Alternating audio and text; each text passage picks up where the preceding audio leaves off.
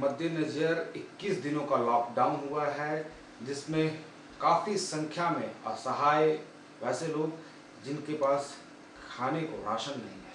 उनके लिए मधुपुर अनुमंडल प्रशासन, मधुपुर के तमाम वैसे लोगों से जो सक्षम हैं और लोगों की मदद करना चाहते हैं, उनसे नम्र निवेदन करते हुए सहयोग की अपेक्षा रखती है।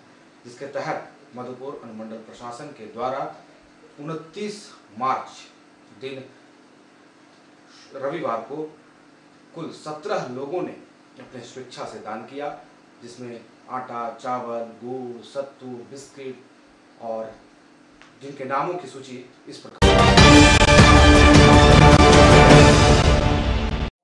को लेकर जारी लॉकडाउन के दौरान राहत सामग्री वितरित करने के लिए मधुपुर के व्यापारियों के द्वारा स्वेच्छा से दिया गया सहयोग इस प्रकार है। मोंटी बथवाल 1000 किलोग्राम चावल। सिंघानिया राइस मिल 1000 किलोग्राम चावल। सिवा राइस मिल 500 किलोग्राम चूड़ा एवं गुड़ 120 किलोग्राम। दीपक बथवाल 250 किलोग्राम सत्तू। गोपाल पाठक एईएन पूर्व रेलवे 100 किलोग्राम चावल। अरशद मधुपुरी 200 किलोग्राम चावल एवं नगद 1000 रुपया। टप्पू बथवाल 400 पैकेट मूढ़ी।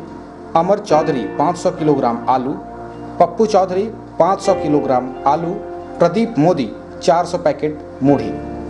स्वास्तिक मेडिकल 50 किलोग्राम चावल, अजीत शाह 25 किलोग्राम चावल, शेखर लच्छीराम का 100 किलोग्राम सत्तू, श्याम सेवक कल्याण संघ के द्वारा 250 किलोग्राम चूड़ा 100 किलोग्राम नमक 60 किलोग्राम गुड़ और 100 पीस मास्क। डॉक्टर आर के मुखर्जी के द्वारा नगद 2000 रुपया। प्रसाद चटर्जी के द्वारा 400 किलोग्राम चावल व बालमुकुंद बथवाल जी के द्वारा 1000 किलोग्राम चावल।